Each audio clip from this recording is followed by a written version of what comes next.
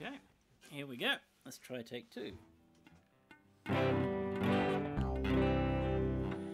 Well, GNU's not Unix. What is Unix, you may ask?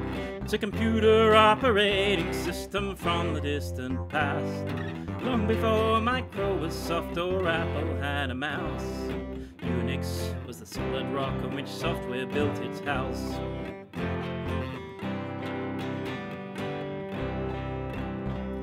But Unix was a jealous beast held tight by AT&T. They'd send trade secret binaries, no source code you could see. The price it was a pittance, but it cost your liberty. You couldn't change or share it, for that code wasn't free.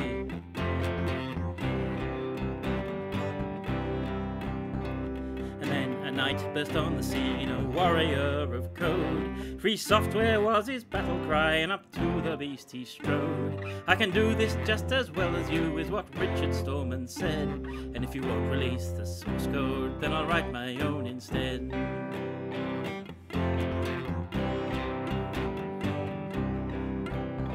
There was one little problem at the heart of Richard's plan.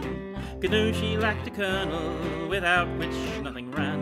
But there was a Finnish wizard who'd been working in the lab to build a kernel of his own. That penguin turned out fair.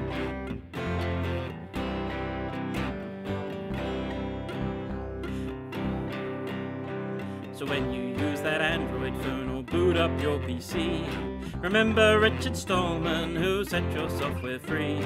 And remember Linus Torvalds, the Finn who wrote the code for the penguin that flaps at the heart of a billion server nodes.